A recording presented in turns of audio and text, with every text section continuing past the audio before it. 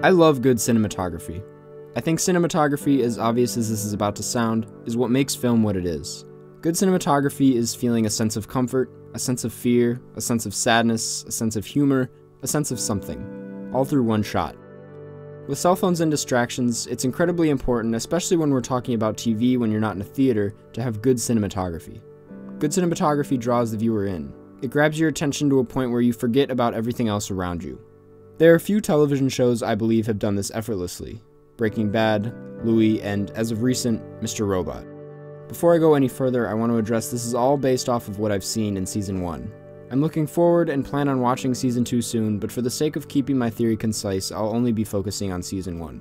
Anyways, Mr. Robot is critically acclaimed for its take on society, technology, privacy, all the good stuff. I think that it takes on such subjects incredibly well. But Mr. Robot is filled with more than just good storytelling techniques when talking about its captivating qualities. One of those qualities being the cinematography. If you've seen the show, you know it's shot pretty uniquely, at least for a drama. Don't get me wrong, I think dramas can come through with some pretty off the rails looking cinematography from time to time, but it's rare for a drama to come with such experimental and daring choices for shots at this level of consistency. With that, I feel it's fair to say dramas rarely come with the kind of audience shows like Mr. Robot are trying to speak to. They rarely come with characters who aren't actually people. It's these two things, audience and character, that explain why Mr. Robot is framed the way it is. When I talk about audience, I'm talking about everyone. When I'm talking about everyone, I'm talking about society. Mr. Robot is a show about society. While yes, it is technically about the main character, Elliot, at the same time, it isn't. Mr. Robot is about an idea, about a future.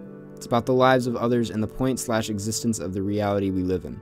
It's revealed at the end of the first season that Mr. Robot is completely fake, a figment of Elliot's imagination that was created through the formation of F Society.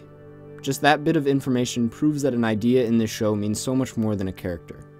That being said, shots where Elliot is simply in the shot, not taking up the shot, leave us with more knowledge about the situation and his surroundings than about him and his own perspective in the situation.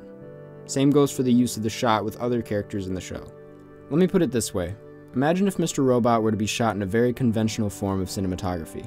I guess, before answering this, it's important to understand what conventional framing is and why it's used.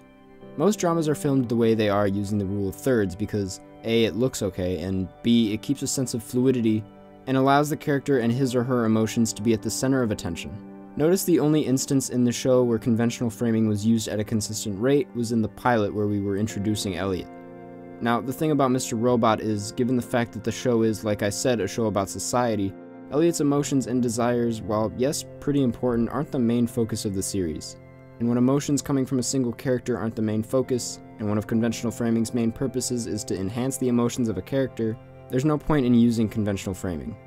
So now we can conclude that conventional framing is unnecessary for a story like this, but why was the framing they use necessary?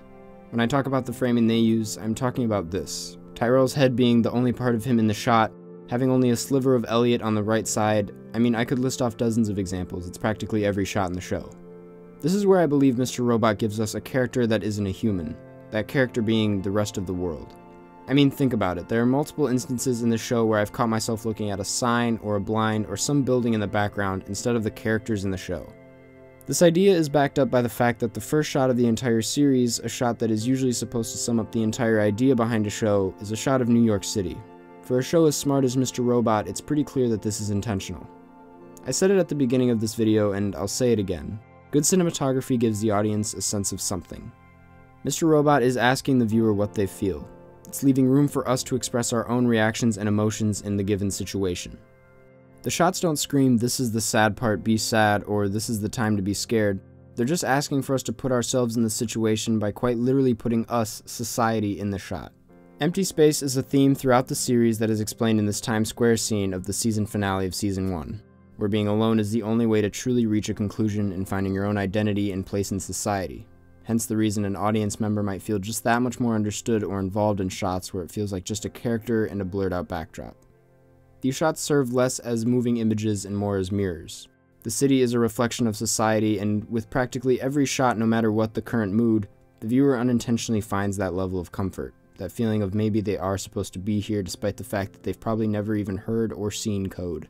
Mr. Robot embodies the idea of challenging the viewer through filmmaking. It uses uncomfortable framing as a way of offering the viewer comfort in the terrifying world the show lives within.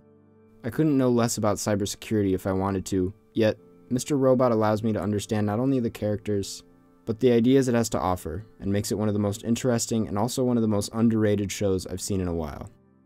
As always, don't forget to subscribe, go watch Mr. Robot, and thanks for watching.